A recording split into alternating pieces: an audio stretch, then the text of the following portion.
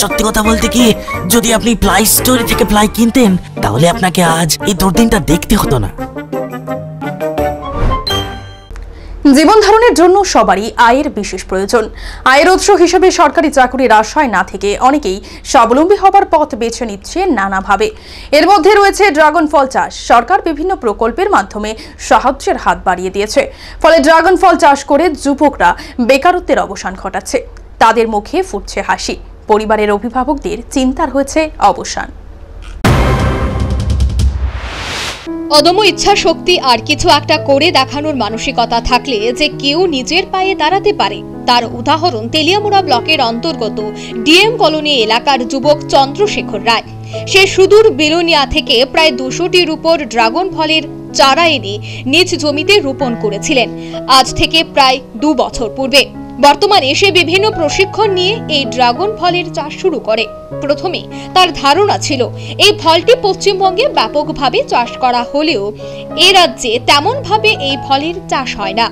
আর এই অসম্ভবকে সম্ভব করার উদ্দেশ্য নিয়ে চন্দ্রশেখর তার নিজ উদ্যোগে এই ফলের চাষ শুরু করে। মাঝে চাষের ক্ষেত্রে কিছুটা হোঁচট খেতে হয় তাকে। তারপরও সে থেমে নেই। এই উদ্যমী যুবক জানায়, বেলুনিয়া থেকে এই ড্রাগন ফলের চারা এনে দু বছর পূর্বে প্রথমবারের মতো চাষ শুরু করে সে। প্রথম দিকে কিছুটা ক্ষতির সম্মুখীন হতে হয় তাকে। তবে গত বছরের তুলনায় এবছর এই ফলটির ফলন কিছুটা ভালো হয়। তবে সঠিক জলসেচের ব্যবস্থা না থাকাতে এ চাষে ব্যাপক সমস্যা হচ্ছে। অন্যদিকে উদ্যমী এই যুবক জানায়, কৃষি দপ্তরের তরফে কোনো সাহায্য সহযোগিতা এখনও পায়নি। নিজ উদ্যোগে সে বিভিন্নভাবে পরিচর্যা করে এই ফলের চাষ করে চলেছে।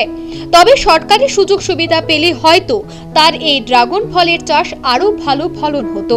চন্দ্রশেখর জানিয়েছে, চাষ জমির সত্তরটি পিলারে মোট দুশো আশিটি ড্রাগন ফলের গাছ রয়েছে। এখনও পর্যন্ত এই ফল চাষাবাদের প্রায় দু লক্ষ টাকা বিনিয়োগ করেছে সে। আমার এখানে প্রায় তোমার, প্রায় না, পুরা পাক্কা পিলার আছে তোমার এখানে সত্তরটা। সত্তর, একটা পিলারের মধ্যে তোমার চার, চারটে করে চারা লাগাইছি। তারপরে দা, এটি আস্তে আস্তে করে সেরে, এটি ড্যাম দিয়ে, দিয়া দিয়ে, দিয়া মানে বাড়া শুরু হয়েছে। সরকারি কি ধরনের সুযোগ সুবিধা তুমি এই চাষ করে পাইতেছ? আমি সরকারের মানে সে যেরকম ভাবছিলাম ওই রকম আমি কোনো কিছু পাইতেছি না। কিচ্ছুই পাইছি না এখন অবধি, সত্যি কথা বলতে গেলে। এমনি ব্লকের মধ্যে দুই, তিনবার আমি অ্যাপ্লিকেশন দিয়েছিলাম তো এটা অ্যাকচুয়ালি আমার বাবার নামের মানে ক্ষেতটাও, বাগানটাও। আমার বাবার নামে, আমার বাবার নামে অ্যাপ্লিকেশন দেওয়া হয়েছে। দুই, তিনবার দেওয়া হয়েছে। তো তারা কী সুযোগ সুবিধা লাগবে, তারাই প্রথমে নিজের ত্যাগ হয়েছিল মানে আয়া ইনকোয়ারিও করছে। তারপরে দা আমার এখানে মানে জলের সমস্যাটা খুব প্রচুর আসলো তো এটার কারণে আমরা বারবার অ্যাপ্লিকেশন দিয়েছিলাম সেটা পাইছি না।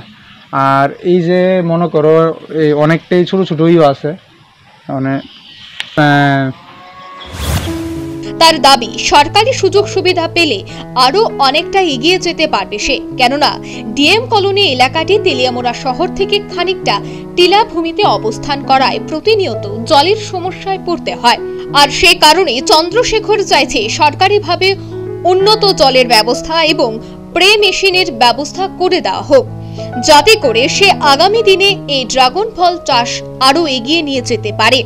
এখন দেখার উদ্যমী যুবক চন্দ্রশেখরের জন্য সংশ্লিষ্ট প্রশাসন কি পদক্ষেপ গ্রহণ করে? রাজ্যের বিভিন্ন অংশে ড্রাগন ফল চাষে মনোযোগী হয়েছে একাংশ মানুষ। উদ্দেশ্য স্বাবলম্বী হওয়া। মান্দায় আরডি ব্লকের অধীন কাইতরাম এরিসি ভিলেজ। এই ভিলেজের উদয় কোবরা এলাকায় রয়েছে ছোট্ট একটি পাড়া। রয়েছে যার নাম রাজমঙ্গল পাড়া এ পাড়ায় মঙ্গল দেববর্মা দুকানি জায়গার উপর ড্রাগন ফল চাষ করেছেন। প্রথমে তিনি নিজের টাকা খরচ করে এ বাগান তৈরি করেন। তারপর সরকারিভাবে তাকে সাহায্য দেওয়া হয়। এক সাক্ষাৎকারে সে জানিয়েছে প্রথম বছর সে দশ থেকে বারো হাজার টাকার ড্রাগন ফল বিক্রি করেছে আর এবছর অনেক বেশি বিক্রি করতে পারবে। কারণ প্রতিটা গাছে আট থেকে দশটি ফল এসেছে। মেশিন টিশিন হুম। এবার জল দিছিল এবার মোটামুটি গোটা হয়েছে। গত বছরতে মেশিন নাই গোটা হয়েছে না। মানে দুইবার মতো আমরা বাজার মূল্য- বাজারে বেচে কিনে করছেন? মানে এবার দিয়ে দুইবার গত বছরতে কমই বেচে। এবার নিয়ে ফেলে তারপরে দুইবার।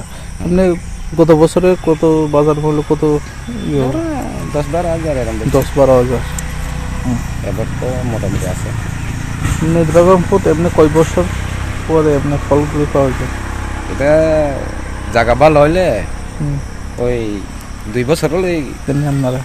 সরকার থেকে হয়তো এটা সব ওই মুসলমান মুসলমানরা এই সরকার থেকে আপনারা সুযোগ সুবিধা পেয়ে এভাবে আপনারা লাগাইতেছেন। ফার্স্টে তো নিজেও লাগাইছিল। হুম। এরপরে সরকার বহন করছে। ওই মেশিন টেশিন দিছিল। আগে নিজের পুষে দিয়ে লাগাইছিল। আগে নিজে পিছিয়ে দিয়ে কেন্দ্র ও রাজ্য সরকারের বক্তব্য সরকারি চাকুরি দিয়ে বেকার সমস্যা সমাধান কিংবা বেকারি দূর করা সম্ভব নয়, তাই স্বাবলম্বী হওয়ার জন্য সরকারের বিভিন্ন প্রকল্পের সুবিধা নিয়ে নিজ পায়ে দাঁড়ানোর বার্তা দিয়েছে সংশ্লিষ্ট কর্তৃপক্ষ। আর তাতে সারা দিয়ে অনেকেই এগিয়ে আসছে। বাস্তবে ফলও পাচ্ছে হাতে হাত। তবে এই সমস্ত প্রকল্পগুলিকে আরও মানুষের কাছে নিয়ে যেতে গেলে সংশ্লিষ্ট সরকারি আমলা থেকে শুরু করে দায়িত্বপ্রাপ্তদের আরও অনেক বেশি বেশি করে ধারাবাহিক নিরলস কাজ চালিয়ে যেতে হবে। তাহলেই হয়তো এক নয়া নজির সৃষ্টি হবে। আর এই প্রত্যাশাই করছে আপামোর রাজ্যবাসী। Bureau report, News Vanguard.